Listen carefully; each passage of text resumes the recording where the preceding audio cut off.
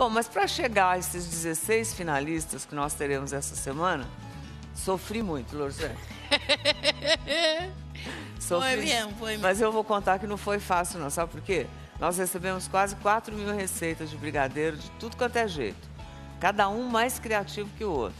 Aí desse total, é, só 60 foram selecionados para a fase de degustação.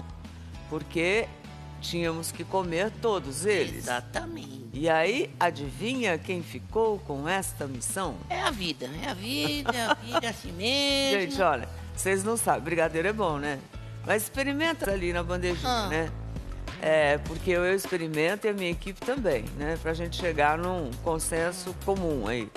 Mas aí não basta você dar uma mordida. Você tem que morder, de repente você vai. Uma mesa, por exemplo, a gente foi selecionando de 15, 16, tinha dia que tinha 20 Meu pai. para experimentar.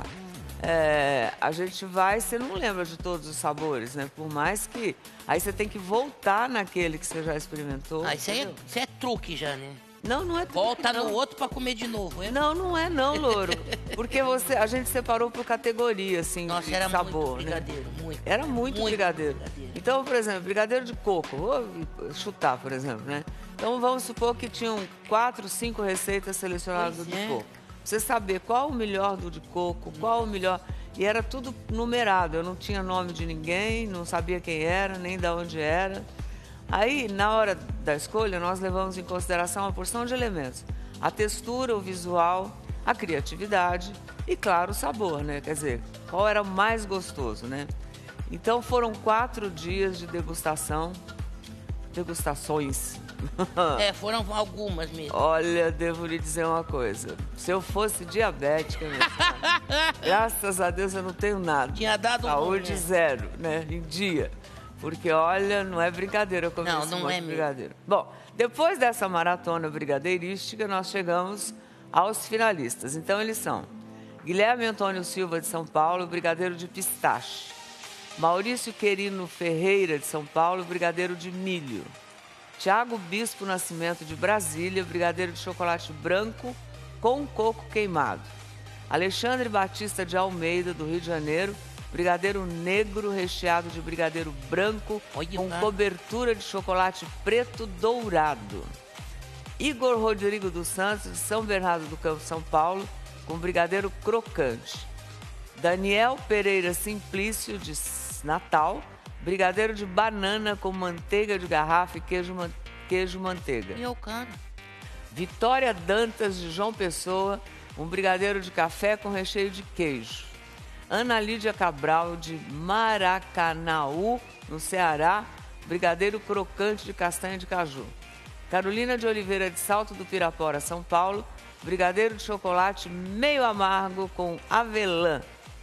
Amanda Talita Costa, de Magé, Rio de Janeiro, brigadeiro de pudim. Olha. Fernanda Colber, de Florianópolis, Santa Catarina, brigadeiro de banana com chips de banana. Daniel Campos Ribeiro, de São Paulo. Daniele, Daniele. Como? Daniele, Daniele Campos Ribeiro, de São Paulo, brigadeiro casadinho de capim santo com laranja. Capim Santo é bom, hein? Maiara Nascimento, de Barreiras, na Bahia, brigadeiro de maracujá. Olha. Amanda Aparecida de Moraes, Pedregulho, São Paulo, Brigadeiro de Quindim. Isabela Santos de Paula, Canavieiras, Bahia, Brigadeiro com paçoca. Adoro paçoca. E ainda Graziela Ferrari Serra, Espírito Santo, Brigadeiro Red Velvet. Pensa que é brincadeira? Não, não é não. Só de falar Agora- cansa a gente de Não, agora eu vou te falar, tem muita coisa diferente aí, muita Tem coisa muita boa. coisa diferente, gente. Eu acho Vai que vocês vão legal. se surpreender. Apesar dessa variedade toda, ainda ficou tanto sabor bom, inusitado para fora. Ficou, olha, brigadeiro de limão siciliano, de churros, brigadeiro de vinho, de vodka, de açaí, Ah, brigadeiro com três tipos diferentes de chocolate, de macadâmia, de creme de avelã e até brigadeiro de chimarrão nós temos Tá receita. brincando? É verdade. Que legal. Uma variedade imensa.